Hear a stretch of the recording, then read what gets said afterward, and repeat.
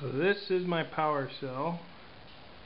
As you can see, we've got black negative on the left, red positive on the right, 16, uh, 40, I'm sorry, 304S stainless steel plates. I'm just using this as a test uh, rig.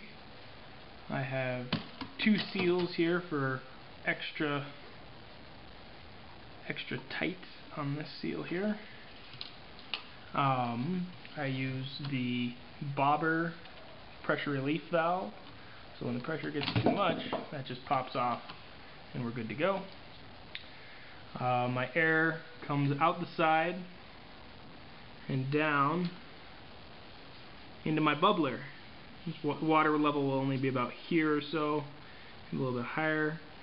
Um, bubble through here out to my uh, whatever I want to do. Like I said, this is a test rig, not meant to go in a vehicle. I will have another cork in here as a double pressure relief valve on my uh, bubbler as well. As you can see, here's my whole rig. Um, the inside of everything has the um,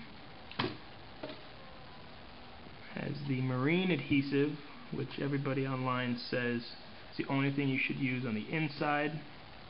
If I tilt this forward you can see I have my connections with liquid electrical tape to prevent any conductive jumping around. I also use heat shrink tubing on the top and the bottom as you can see there. Middle is, like I said, my negative or ground. My positive goes down the side, down and up. And that's about it. Hopefully we'll be doing some tests here tomorrow. Thanks for watching.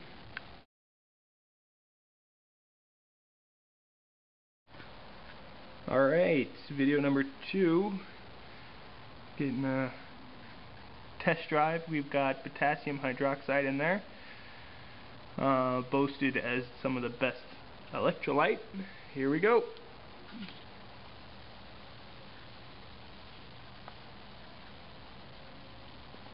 Hopefully you guys can see this. I got all eight cell eight uh, um, areas firing and this thing becomes fully clouded creating massive amounts of hydrogen right away. I mean that is it, it you can't even get soda that good.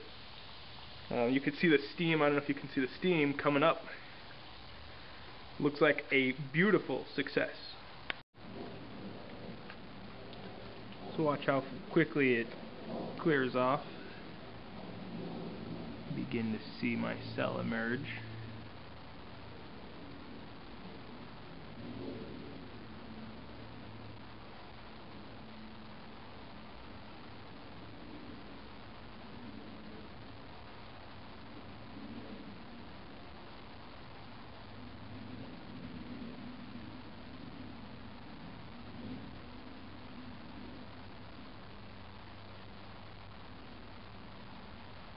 The bubbler has indeed stopped.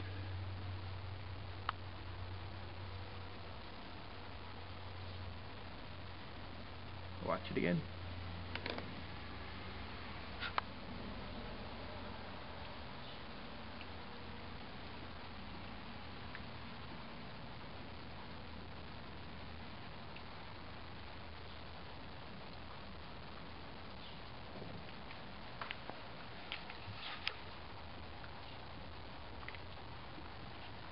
Uh, preliminary um, testing shows this is just under a liter a minute. Um, of course the cell is not broken in and or warmed up. So still not even lukewarm to the touch. The entire container of course the cell is probably warmer. But there you go.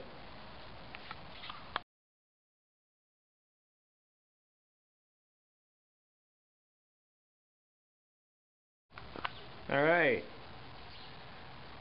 just cracked it open and everything appears to be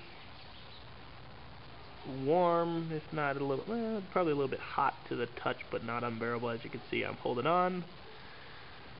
Um, clears right out. Gotta love potassium hydroxide. Doesn't muck up anything. As you can see, I've got a leak. Really bad on the positive side. Actually, that's about half an hour worth of running.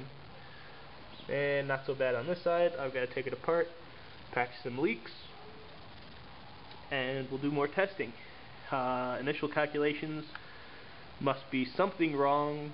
It says I was getting approximately um, 11 milliliters per minute per watt, which should not be possible.